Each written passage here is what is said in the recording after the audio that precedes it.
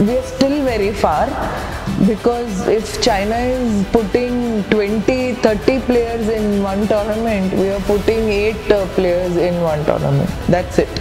And we have hope from one player, that's it, singles player. You have to include me in the decision making for badminton. I'm ready to do it. I don't want any remuneration for it.